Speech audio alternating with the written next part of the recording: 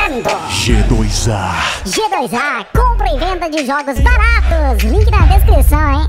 Salve galera, beleza? X-Game na área trazendo mais um vídeo pra vocês. E galera, é o seguinte, no vídeo de hoje eu vou estar trazendo aqui pra vocês um programa, um software de gravação muito bom. Pouca gente conhece esse software, mas você que já conhece o software e fala, ah, eu já usei, não curti, é porque teve queda de FPS, galera, presta bem atenção. Porque tem uma configuração oculta, digamos assim que seja oculta, né? Nesse software de gravação que quase ninguém sabe e que é muito boa, já vou mostrar aqui pra vocês.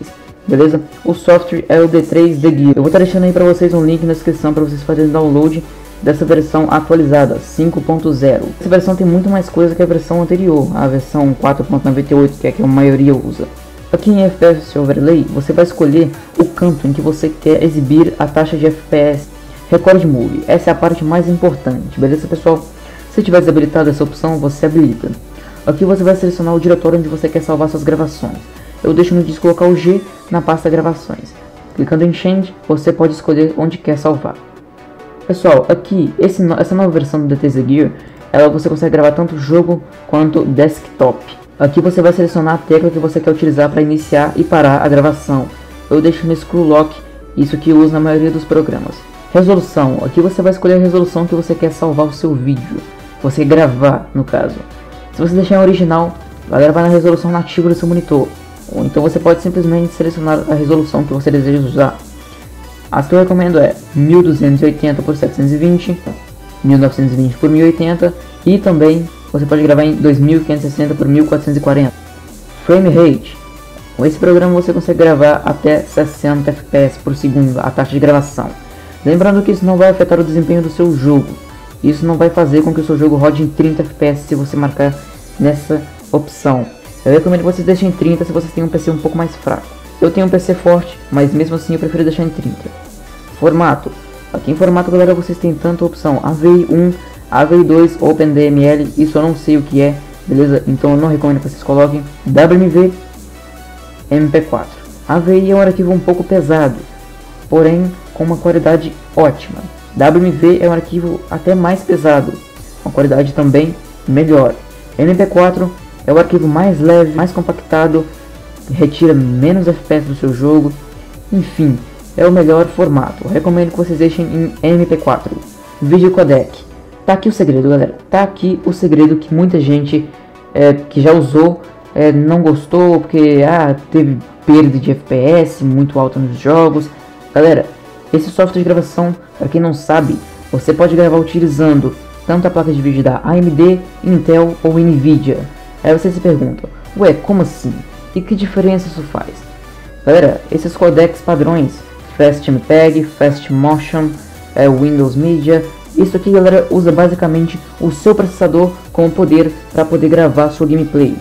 E isso afeta muito em jogos multiplayer, porque jogos multiplayer tem que estar tá processando o movimento que cada jogador faz. Ou seja, tem que ser algo muito rápido, um processo rápido. Aí, e o que, que acontece se eu colocar para gravar utilizando a placa de vídeo? Eu uso da AMD, beleza pessoal? Porque minha placa é da AMD, obviamente. Mas enfim, qual a diferença?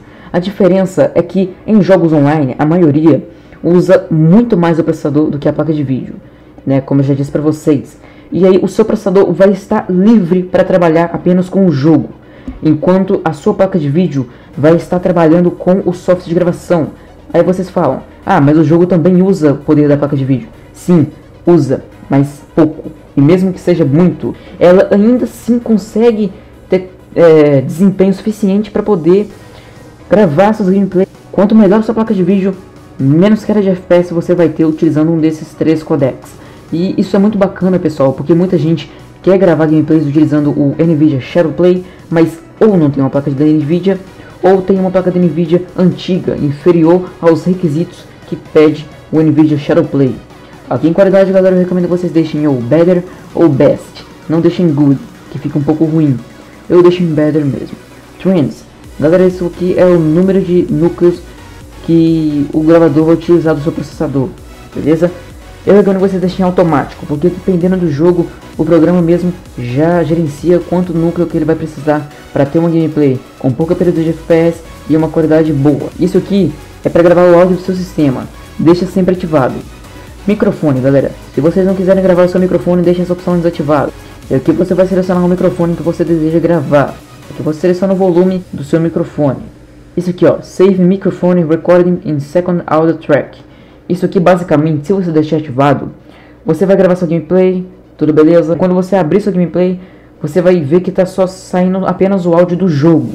Porém, quando você importar essa gameplay para um editor de vídeo, por exemplo, Sony Vegas, que é o que eu uso, vai ter uma duas tracks, beleza? Duas tracks. Uma é o áudio do sistema e a outra é o áudio do seu microfone. E essa opção é muito boa, porque eu já cansei de gravar gameplay e o áudio do meu microfone fica baixo em relação ao áudio do jogo.